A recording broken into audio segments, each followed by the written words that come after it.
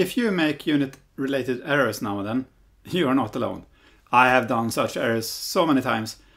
And while making this video, I actually found one that had survived 15 years in my printed material. I will tell you in this video how I found that error.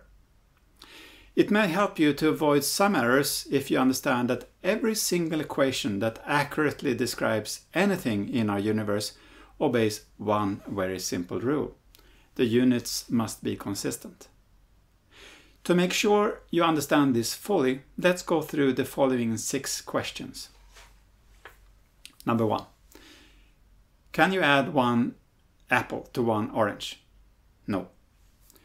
Two. Does every number in an equation have a unit? No. 3. How weird can units be?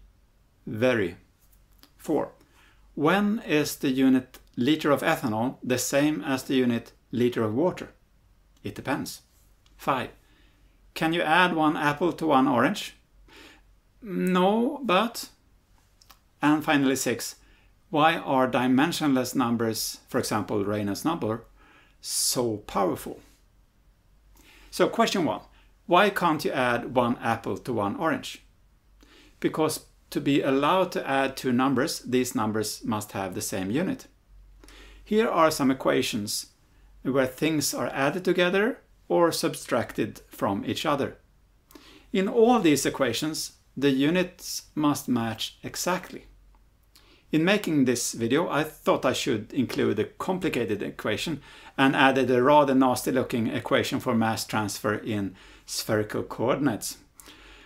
The equation I had printed in our handbook for many years looked like this. This is actually wrong, and you can prove that by analyzing the units. The derivative of concentration with respect to time has the unit mole per cubic meter and second, and thus all the other terms must have that unit. The next term is okay. The velocity VAR has the unit meter per second, and the partial derivative of concentration with respect to distance has the unit mole per meter 4, giving us the unit mole per cubic meter and second. But there is something wrong with the next term. Phi is an angle, and for now you can think of that as unitless. Well, it's kind of a fraction, but more on that later. So we get meter, uh, meter per second multiplied with mole per cubic meter and get mole per square meter and second. This clearly does not make any sense and must be wrong. As it happens, in the correct equation found on another page uh, in the handbook, the velocity should be divided with r here, which gives us the correct unit. The take-home message here is that using unit analysis you can a. understand what units you need to use for the different terms in your equation, and b. prove that an equation is faulty by showing that the units are inconsistent. You cannot, however, prove that an equation is correct by using unit analysis.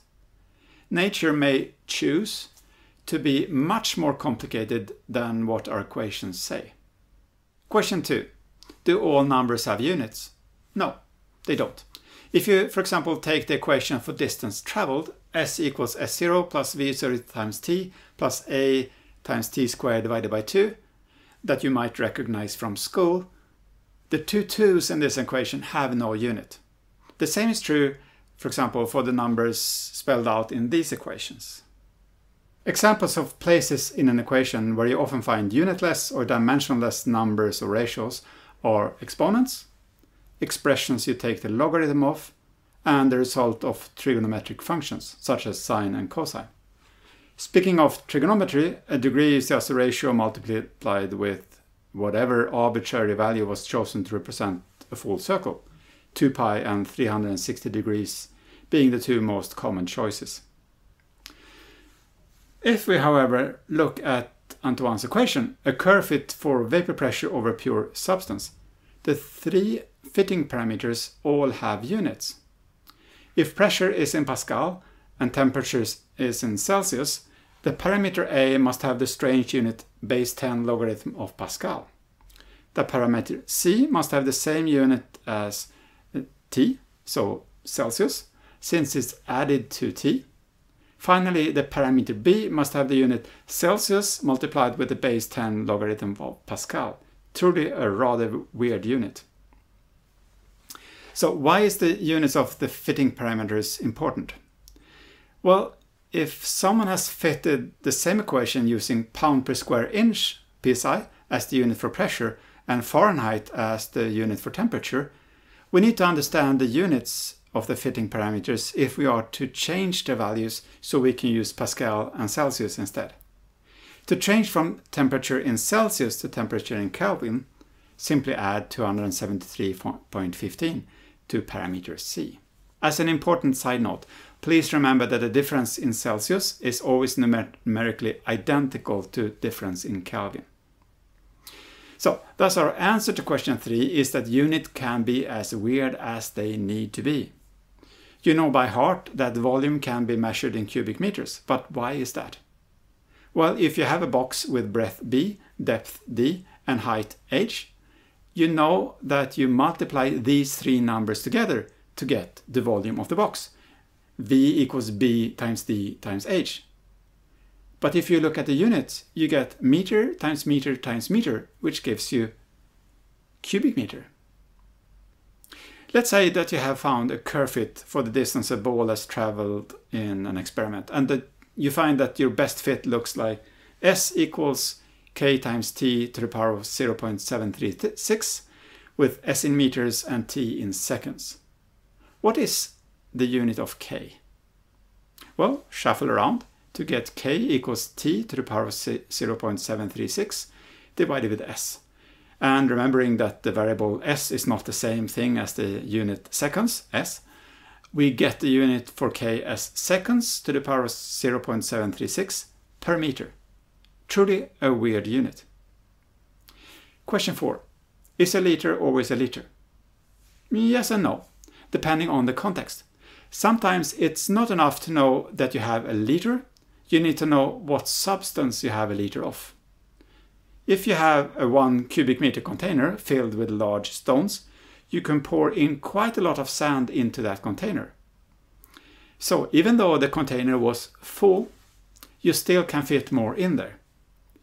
The same is true is if you add uh, 1 liter of water to 1 liter of ethanol.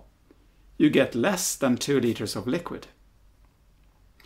Thus, as question 5, we can modify our previous statement and say that yes, you can add one apple to one orange if you shift your perspective and think of them as items or fruits. If you have one apple and one orange, you have two fruits, right? Let me pause you there and add that this is why equations like this make sense. You can add the molar weight of one calcium atom to the molar weight of two chloride ions, uh, since one mole of calcium chloride consists of one mole of calcium and two mole of chloride. Just in the same way that you can make a fruit salad out of several different fruits. This may sound trivial, but we're about to get to a crucial point about the difference between true unitless numbers and ratios that have no dimension. To get there, ask yourself what the units are for rainfall and for soil moisture. I would guess that you know that we typically measure rainfall in meters per year, but meters of what? What we mean with that unit is cubic meter of water per square meter of land and year and we abbreviate that as meter per year. For soil moisture, we typically use the unit cubic meter of water per cubic meter of soil. Soil moisture is thus a dimensionless number, cubic meter divided with cubic meter, and has no dimension. However, it is crucially important that we take cubic meter of water per cubic meter of soil when we calculate soil moisture and not vice versa. So while the two 2's in the equation s equals at squared divided by 2 are truly unitless, we might want to clarify that the dimensionless number soil moisture has the unit cubic meter of water per cubic meter of soil to avoid confusion and errors. As our sixth and last question, have you figured out yet why dimensionless numbers such as Reynolds number are so powerful in explaining our world? To reiterate what we said in the beginning, every single equation that accurately describes anything in our universe obeys one very simple rule. The units must be consistent. But this also means that you can shuffle around your equation and translate it into an expression using dimensionless numbers. Using dimensionless numbers, we comparatively easy can summarize and compare vast numbers of experiments and find the best fit regardless of the magnitude. As an example, in flow in a pipe, you might understand, perhaps intuitively, that the diameter of the pipe, the velocity of the flow, the density of the fluid, and the viscosity of the fluid are important for the flow characteristics. But if we multiply the diameter in meters with the velocity in meter per second and the density in kilogram per cubic meter and divide that with the viscosity in Pascal seconds, we get the dimensionless number Reynolds number, which has proven so powerful in predicting when the flow is laminar and when it becomes turbulent. Our world is often very complicated, but using dimensionless numbers has often proven to be a very successful method for finding curve fits for really complicated systems.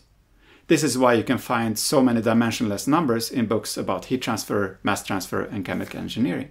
Because remember, every equation can be transferred into an equation that uses dimensionless number. So if you have something, uh, a, an equation that describes the world, you can change that into a dimensionless equation.